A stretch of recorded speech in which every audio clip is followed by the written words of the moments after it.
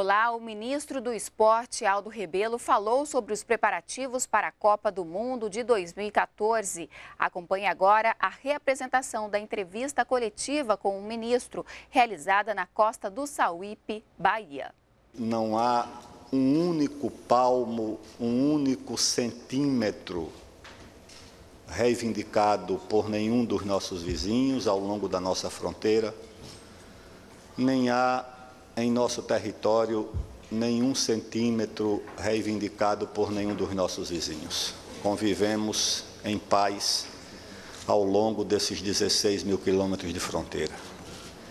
E convivemos também em paz ao longo dos nossos 8 mil quilômetros de litoral, sem que haja um único rochedo, uma única ilha, um único atol que seja reivindicado por ninguém, nem que o Brasil reivindique de ninguém. Nós somos um país que, ao mesmo tempo, tem uma grande diversidade cultural, étnica, originária da nossa formação de três grandes troncos civilizatórios: o indígena, o africano, o europeu, o que enriquece a diversidade do nosso povo, mas um país também marcado dentro dessa grande diversidade por uma grande unidade baseada no idioma comum, que é o mesmo ao longo de nossos 8 milhões e meio de quilômetros quadrados, convivendo naturalmente, com dezenas de línguas faladas pelas populações indígenas, como os senhores poderão testemunhar se tiverem a oportunidade de conhecer a Amazônia. Nós vamos realizar a Copa do Mundo em 12 cidades diferentes ao longo do nosso território, desde o extremo sul do Brasil, em Porto Alegre, Curitiba, são Paulo, Rio de Janeiro, Belo Horizonte, Brasília, Cuiabá, Salvador, Recife, Natal, Fortaleza e lá no norte, nas margens do rio Amazonas e do Rio Negro, a cidade de Manaus. Essas cidades representam a diversidade e a unidade do país. Nós não poderíamos fazer uma Copa do Mundo no Brasil e deixar de fora a Amazônia, que representa dois terços do território brasileiro. O estado do Amazonas, cuja capital Manaus é uma das cidades sede, o estado do Amazonas tem 1 milhão e 600 mil quilômetros quadrados é como se fosse aproximadamente três vezes o tamanho da França. Esse estado tem 98% da sua superfície coberta de vegetação nativa. Apenas 2% de ocupação humana para as cidades, a infraestrutura, a agricultura e a pecuária. 98% de florestas. Nós não poderíamos, portanto, deixar de fora essa região do nosso país. E o Pantanal Mato Grossense, Mato Grosso, cuja capital, Cuiabá, se encontra na entrada do Pantanal, que é um bioma único no planeta. O Brasil tem no futebol, além de um esporte, uma importante atividade e representação da nossa identidade. Quando o futebol chegou ao Brasil, no fim do século XIX, começo do século XX, o Brasil era um país, ainda hoje é, mas era muito mais desigual, muito mais marcado por desequilíbrios. O futebol não foi apenas um esporte abraçado pelo povo, o futebol foi também uma plataforma de inclusão social para os jovens pobres e principalmente para os negros. que não tinham muita oportunidade naquela sociedade. E o futebol deu a essa população, principalmente aos seus jovens, aos pobres e aos negros, as suas primeiras celebridades. Primeiro jovem negro, admirado, querido, reconhecido no Brasil e no mundo, veio pelo futebol. Desde a Copa do Mundo de 30 até recentemente o próprio Pelé, o Ronaldo, o Neymar e tantos outros. Garotos de origem humilde que encontraram no futebol o espaço democrático que nem sempre a sociedade permitia. Talvez isso explique porque o futebol vai muito além do jogo disputado nos gramados. Para a torcida, para a população, ele é um elemento importante do seu imaginário de uma sociedade ideal, baseada em oportunidades que podem ser oferecidas a todos. O Brasil recebe, portanto, essa Copa num ambiente de festa, querendo não apenas fazer dela uma festa do futebol, mas também uma oportunidade de desenvolvimento, de melhoria das condições de vida nas nossas cidades, de melhoria da infraestrutura urbana, de melhoria da qualidade de vida da população, da nossa infraestrutura aeroportuária. Nossa população reage aos desequilíbrios e às desigualdades com manifestações como nós tivemos a possibilidade de testemunhar durante o, a última Copa das Confederações, mas ao mesmo tempo a população demonstra o amor e o apreço que tem pelo, pelo futebol. A Copa do Mundo, segundo estudos de consultorias internacionais e nacionais, como a Fundação Getúlio Vargas e a Ernest Young, em um estudo intitulado Impactos socioeconômicos dos grandes eventos, a Copa pode gerar no Brasil até 3 milhões e 600 mil empregos, o que não é pouco para o mundo que vive hoje uma grande dificuldade para a geração de empregos. Embora o Brasil tenha uma das taxas de desemprego mais baixas do mundo, em torno de pouco mais de 5%, a geração de empregos ainda é também uma preocupação importante para o Brasil. A preparação da mão de obra, a ampliação da infraestrutura, mas também a Copa do Mundo é uma oportunidade não apenas de desenvolvimento material, econômico e social. A Copa do Mundo também é uma oportunidade para que o mundo e o Brasil possam refletir sobre os conflitos que marcam profundamente a sociedade contemporânea. E chagas que nós desejamos combater na sociedade, como o racismo, a intolerância religiosa, a intolerância nacional, a intolerância étnica. Lamentavelmente, o mundo ainda é marcado por essas manifestações indesejáveis nas relações humanas. Nós vimos recentemente, nos campos de futebol da Europa, a manifestação contra jogadores negros por parte de torcedores de clubes e até de seleções europeias. Nós testemunhamos no mundo a luta, o derramamento de sangue por causa de diferenças religiosas, nacionais ou étnicas. O Brasil é um país que vai construindo o seu processo civilizatório exatamente procurando negar, combater esse tipo de manifestação e manifestando o orgulho da sua condição de nação essencialmente mestiça, que tem orgulho da sua origem indígena, africana e europeia, que procura exibir exatamente na mestiçagem uma qualidade civilizatória do nosso povo. A tolerância religiosa do mesmo jeito. A tolerância étnica da mesma maneira. E a tolerância nacional da mesma maneira.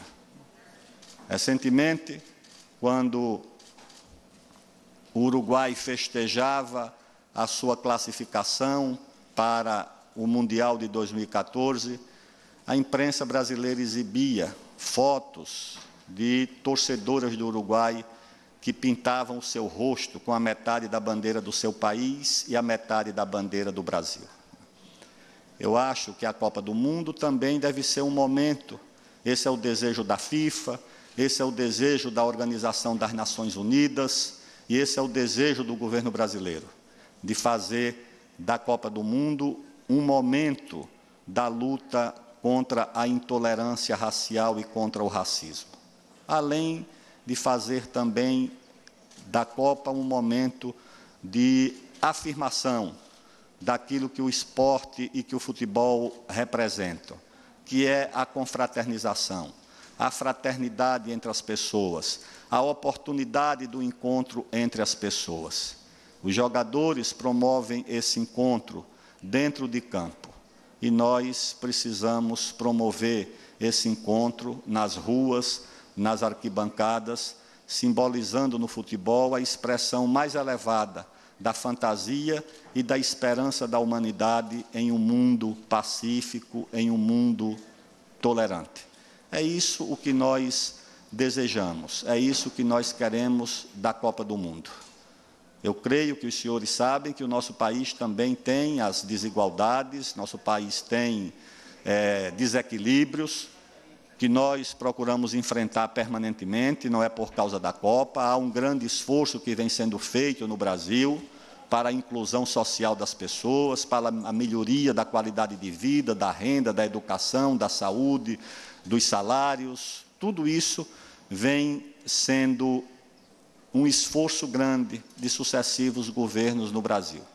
Mas nós queremos que a Copa do Mundo seja para o Brasil a afirmação dessa trajetória civilizatória que nos orgulha. Muito obrigado.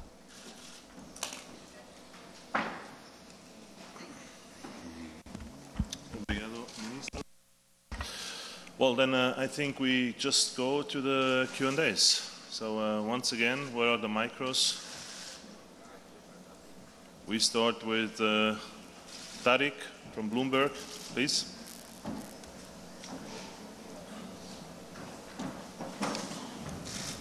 Good morning, uh, Mr. Rebello, Tariq Panja from, from Bloomberg News. Um, Brazil's image overseas is a fantastic image when, when we talk about the other BRIC nations, um, China, India, South Africa, etc. Whenever you say Brazil, people tend to smile. Um, but now you're hosting the World Cup and the Olympic Games in 2016. There are, there's more focus on your country, more journalists here, and people are seeing a lot more about Brazil, the challenges, the difficulties that this country also faces. Do you think by hosting the World Cup and the Olympics, uh, Brazil is ready for the scrutiny that it's, it's getting? be it about protests in the streets or maybe um, some, the, the, issue with the stadium the other day in Sao Paulo. Is Brazil comfortable with the perhaps a little change in the international perception, given there's more journalists here?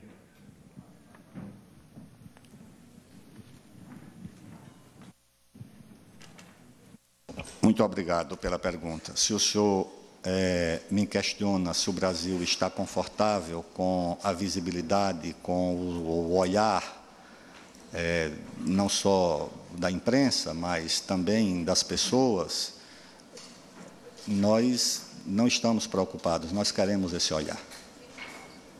nós achamos que ele vai revelar coisas ruins sobre o país, mas vai revelar muito mais coisas boas sobre o país.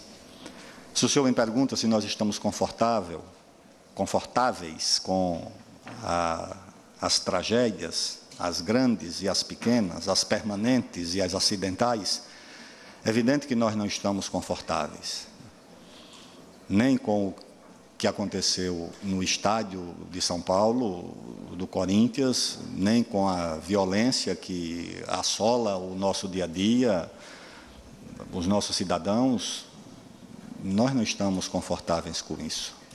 Nós pautamos políticas para enfrentar esses fenômenos.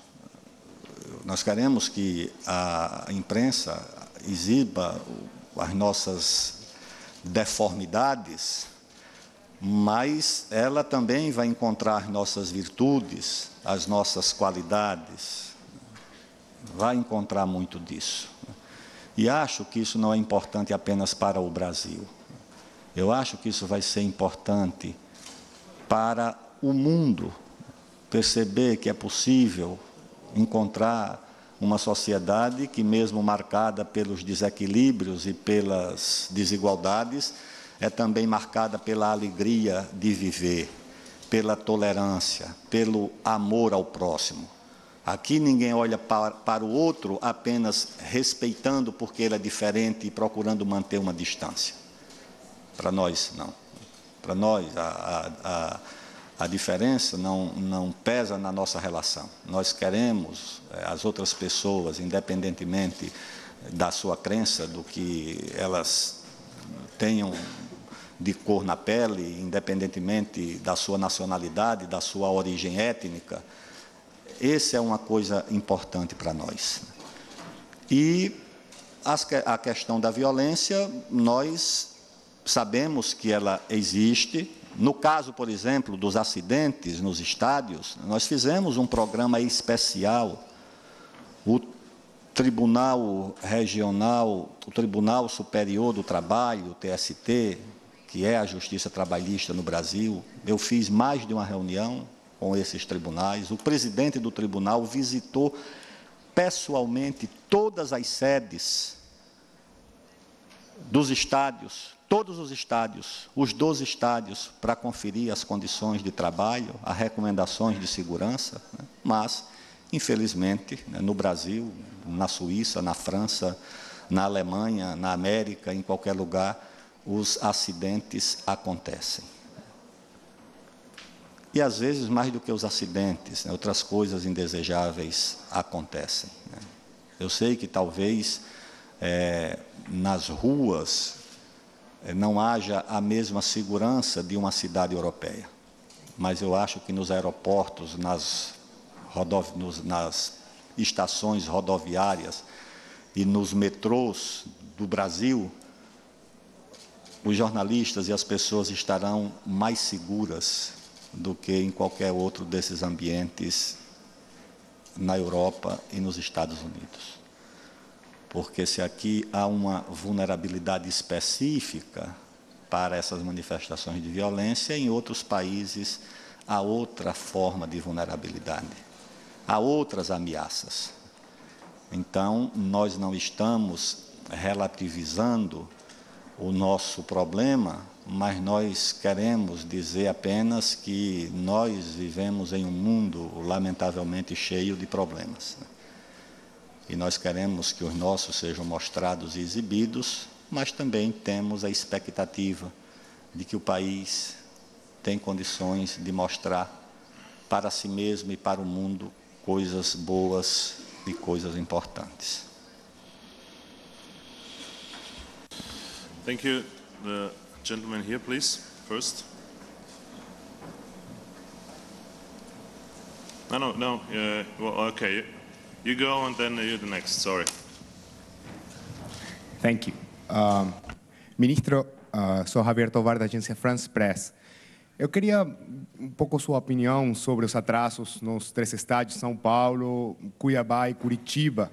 Um pouco hum, como, como foi essa, esse anúncio do, do COU à, à FIFA, como a FIFA reagiu, e se tem agora a possibilidade que outros estádios também se, fiquem atrasados, e como fica agora, assim, Brasil, diante da FIFA, que sempre falou que 31 de dezembro era o prazo que não era, que era impossível trocar, e agora troca. Já o, o secretário Val que falou que tem que se flexibilizar um pouco com o Brasil, e até chamou a nova FIFA aqui no Brasil da FIFA Samba. Como você vê isso? No Brasil há uma instituição muito tradicional, muito respeitada e que a imensa maioria das pessoas passa por ela, que é o casamento. O casamento é uma festa que as famílias preparam para duas pessoas. Geralmente, uma noiva e um noivo.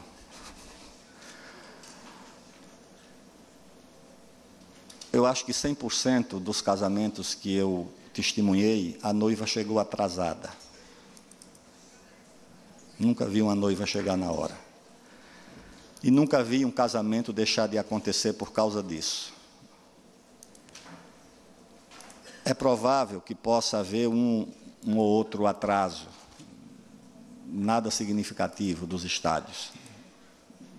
Mas o importante é que todos eles estarão prontos, serão entregues segundo em os próprios construtores ou proprietários em janeiro. Em dezembro, eu já tinha falado com o governador do Amazonas, que tinha reservado uma data do dia 20, a governadora do Rio Grande do Norte ofereceu 19, 21 ou 30, o governador do Mato, do Mato Grosso, lá de Cuiabá, uma data a partir do dia 20, mas por conta de agenda e porque já havia compromissos da presidente da República, eu falei com esses governadores e com a governadora para que deixássemos todos eles para janeiro. O do Corinthians houve o um acidente. O do Internacional seria entregue em janeiro mesmo. Acho que tinha uma data de dia 15.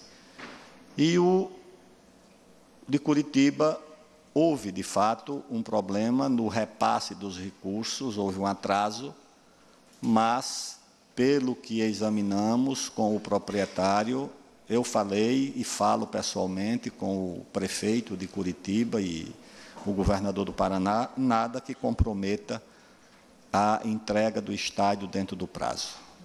Nós queremos que esses estádios sejam entregues o, o quanto antes possível, porque eles precisam ser submetidos a o que a FIFA chama dos eventos teste, ou seja, a, o funcionamento do estádio precisa ser testado, a acessibilidade, a segurança, a parte hidráulica, a parte elétrica, o setor de alimentação, a entrada e a saída dos torcedores, a, a segurança, tudo isso precisa ser submetido a, a eventos, a testes.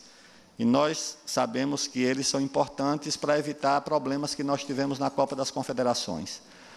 Mas com a entrega em janeiro, nós teremos o tempo necessário para a realização desses eventos. Se os estádios forem entregues em janeiro, o que é a hipótese mais provável, porque há o compromisso de que isso ocorra, nós não vamos ter nenhum problema. E eu, a cada três meses, fiscalizo pessoalmente, eu vou aos estados, eu visito as obras, eu converso com o governador, converso com o prefeito, converso com o proprietário, converso com o engenheiro-chefe da obra, questiono a origem do material, dos equipamentos, os fornecedores, a entrega, o que já foi entregue, o que não foi, o que vai chegar, quando vai chegar, para que o nosso controle não seja apenas uma coisa formal. E a minha expectativa é de que nós teremos esse, é, esses estádios entregues dentro do prazo. Thank you. Now it's, it's your turn. Please. Hi, good morning. Brian Swanson from Sky Sports uh, News. Uh, firstly, a question to Walter, then to the Minister, if that's all right. Walter, just to clarify something earlier this week, can you confirm whether FIFA has received a request from a Sao Paulo prosecutor to explain its choice of presenters at the draw here on Friday? The allegations of possible racism that he wants to find out whether there's going to be subject to criminal proceedings?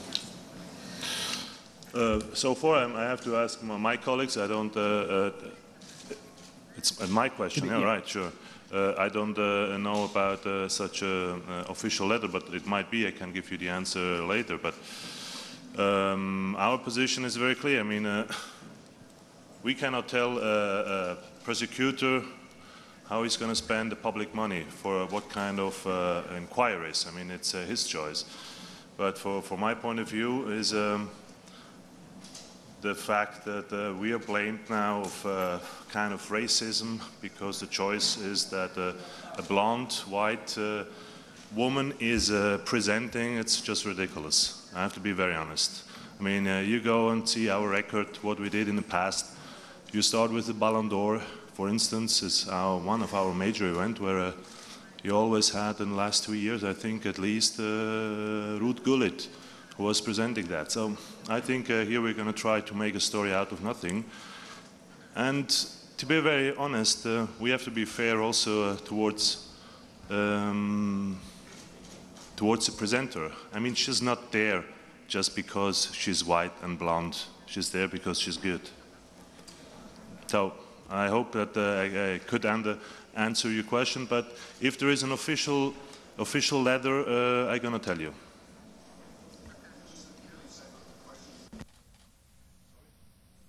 Related question to the Minister, Mr Rebello. Uh, you mentioned there the issues facing this country in terms of safety and security. What do you think of England's choice of team base in Rio de Janeiro?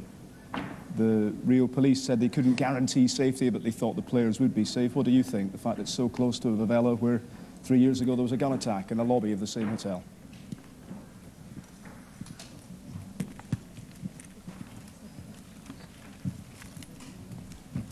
O que eu posso dizer é o seguinte: eu ando há 40 anos de avião em, no Brasil, desde a época de estudante, que eu visito os aeroportos do Brasil.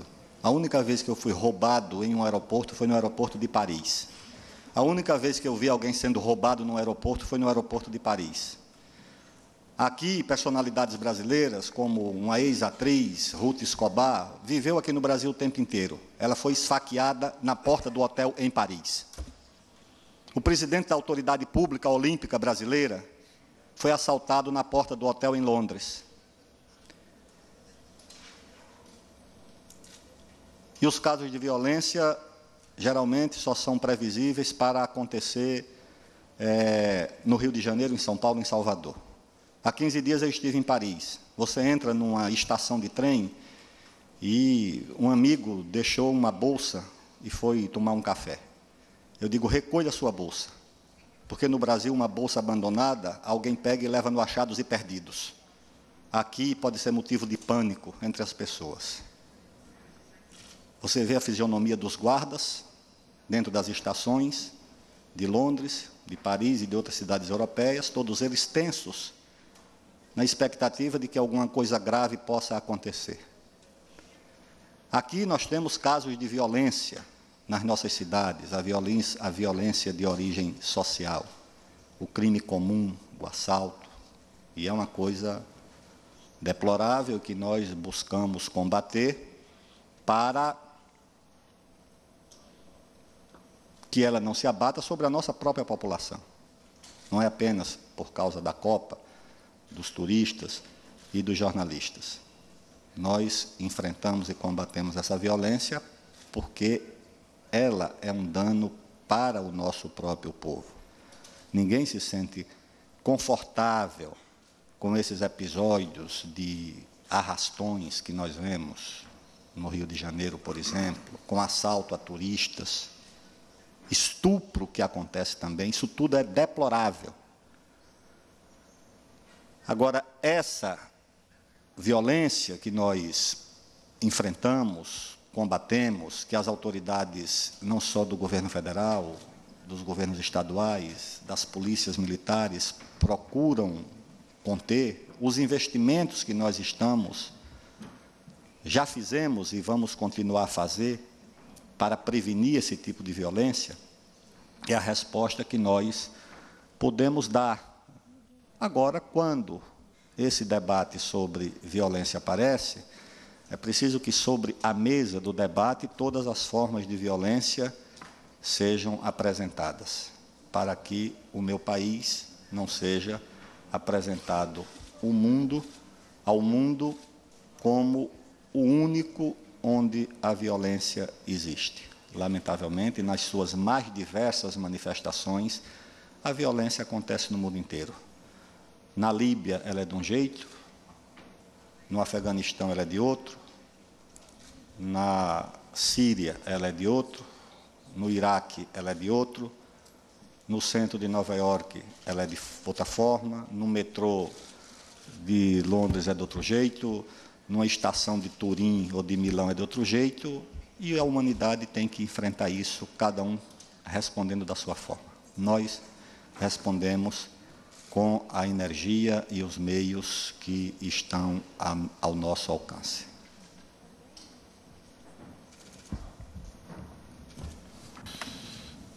Rodrigo, please. No, just there. Yes. É, ministro é, Rodrigo Matos, do UOL. É, vou voltar na questão dos estádios. O senhor, em diversas entrevistas, garantiu que os estádios estariam prontos no final de dezembro. Não era uma é, expectativa, era uma promessa de que estariam prontos. E como que agora a gente consegue acreditar que eles estarão prontos até fevereiro, visto que a primeira data, que já era uma data retardada, né, do, das, das iniciais, não foi cumprida? A data era dezembro. A inicial era dezembro de 2012, né? Exatamente. Não, para os seis primeiros estádios, para os estádios da Copa das Confederações. Dos seis estádios da Copa das Confederações, dois, o de Fortaleza e o de Belo Horizonte, dois dos seis foram entregues em, em, em dezembro um no dia 20, outro dia 21. Nós participamos da entrega dos dois estádios. Os outros quatro foram entregues depois do prazo. Para os seis restantes, nós tínhamos, eu tive pessoalmente com os governadores, a data da entrega. O de Manaus em 20 de dezembro, o de Natal 19, 21 ou 30, ou 6 de janeiro, a governadora pôs essas datas, e o de Cuiabá a partir do dia 20. E nós, por questão da agenda presidencial, eu pedi para que esses prazos fossem deixados para dezembro. Portanto, para janeiro. Portanto, nós teríamos três estádios entregues. Os demais, houve o caso do, do acidente, embora isso não tenha influenciado porque seria entregue depois de dezembro mesmo, mas houve o acidente do estádio do Corinthians. Houve atraso na, no repasse de recurso para o estádio de Curitiba e o de Porto Alegre também houve problemas na finalização das obras do entorno. Mas o que eu posso lhe dizer é que esses estádios serão entregues com relativa folga para que os eventos testes da Copa do Mundo aconteçam.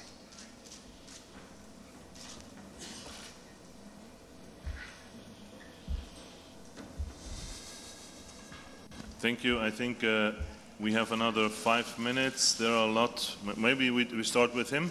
Yes. Then uh, Delia, there is another slot at 10, right? Yeah, so another five minutes. Please. Ministro eh, Marco Belo, Rede Transamérica de Rádio. Ah, ainda em cima da situação do estádio do Corinthians, ministro, há uma perícia acontecendo no momento. Essa perícia não foi concluída e há muitas possibilidades, né, segundo os próprios peritos que estão trabalhando no local, é, das causas do acidente. Uma das possibilidades é exatamente a pressa. A gente sabe que há pressão para o estádio ficar pronto. O presidente da CBF já garantiu que o estádio vai ficar pronto no prazo. O senhor está falando também que o estádio vai ficar pronto no prazo. Essa pressa e essa garantia do Ministério, da CBF, de que o estádio vai ficar pronto, não pode fazer com que os operários realmente tenham essa pressa e não causar, mas contribuir para que novos acidentes ocorram?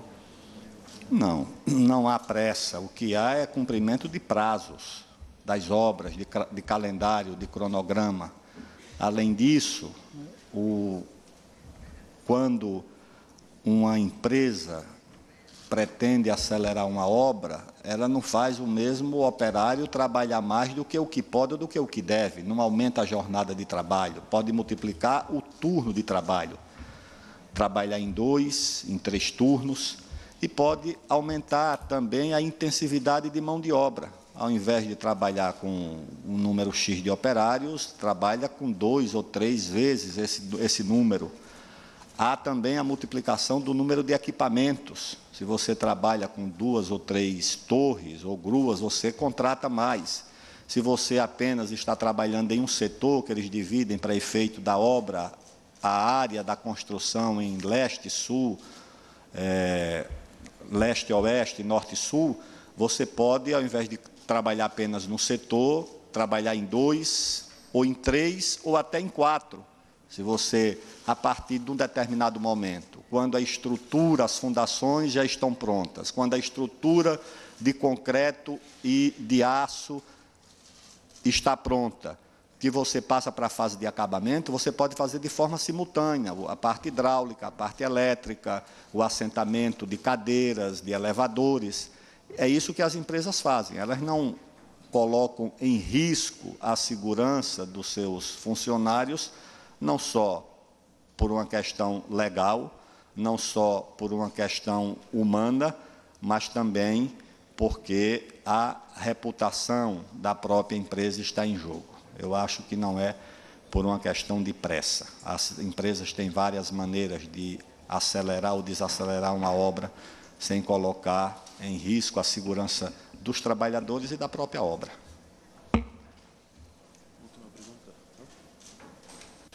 Last question, James, uh, David Bond, sorry. David, please, BBC.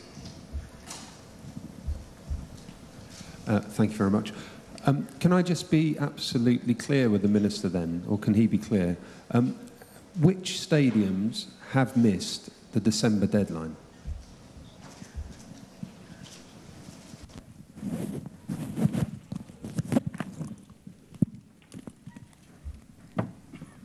Eles serão entregues todos em janeiro. Por quê? Porque os três que seriam entregues em dezembro, eu pedi aos governadores que deixassem a entrega para janeiro por conta da agenda da presidente da República. Um caso, por exemplo, já havia uma agenda de um, uma ceia, um almoço de Natal que a presidente faz no dia 20 de dezembro com os moradores de rua na cidade de São Paulo. E o governador havia marcado essa mesma data para a entrega do estádio. Depois dessa data do dia 20, você já faria coincidir a entrega dos estádios com uma série de atividades relacionadas com festejos natalinos, Ano Novo, agenda desses governadores e da própria presidente de fim de ano. Os outros seriam entregues depois, ou seja, os outros de fato não seriam entregues em dezembro por razões diversas. Você acompanhou a reapresentação da entrevista coletiva do ministro do Esporte, Aldo Rebelo, sobre os preparativos para a Copa do Mundo de 2014. Continue com a gente aqui na NBR, a TV do Governo Federal.